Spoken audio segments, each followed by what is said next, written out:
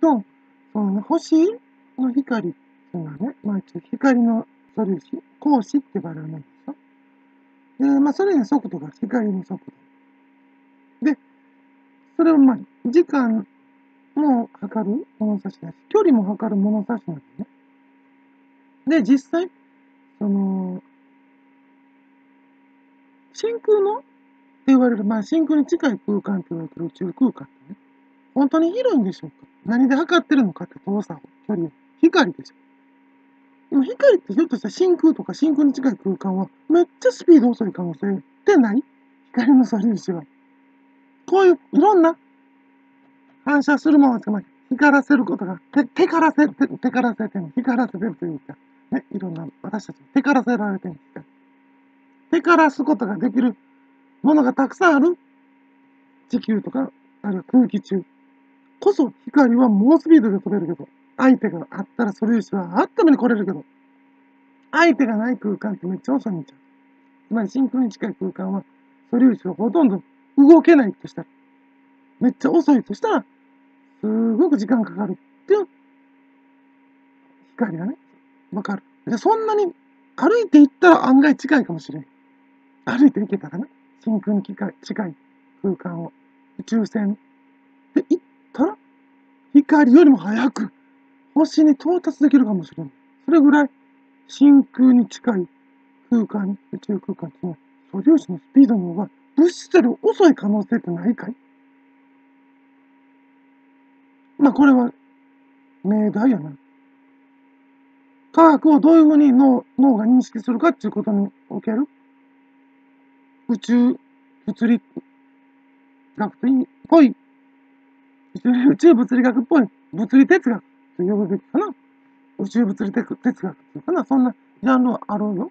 実際に。じゃあ、もしそんなに遅いんやとしたら、すぐそばに、なんだ、星はあるんじゃないかと。宇宙船で行ったら案外近いと。光っていうのは速度があるけど、まあ、素粒子ね。光っていうのは物差しなの。だから、速度があるってことは距離の物差しなのね。光のスピードが物差しになってるそれで距離はすっごい遠いってことになってるけど、何言っても。物質がないところでは素粒子はめっちゃ遅いんじゃないかっていううちの仮説ね。じゃあ、案外近いんだとしてですよ。じゃあまあ、歩いていくことはできない、できないかもしれないです。宇宙空間真空に近いからそれは確かに。じゃあそんなね、重力？その光の素粒子なり、ガスっていう物質なりが、あるいは地球だ、土、その中心な金属、鉄、そんなのが引力を持ってガッと集まってる。ね、でも、その、地球みたいなね、その物質が重たいとか別として、非常に重たいとか別として、軽い世界っていうのは、ガス惑星同士、そんなにお互いの距離保てるかな、本当に。そんなに一生懸命距離保てるかな。で、光ってる星素粒子の星たちも、保てるんかな？距離を。いつも同じ距離本当に保てんの？っていうよりかね、実際、よく考えてみて。その光ってる星から、光の素粒子が一個だけ地球に到達して、それ以外の光の素粒子で順番待ってるんですか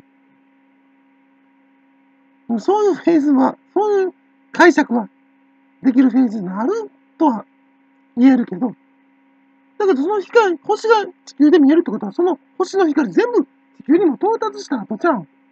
じゃあもう、その星が光ってる？と思われてる場所にはもうその光はないんでしょ？じゃあもうそこにその星ないかもしれん。全部地球に来ちゃった。じゃあ、星が見えるってことも、その星はすでに地球にあるんじゃないの？これも宇宙物理哲学でしょ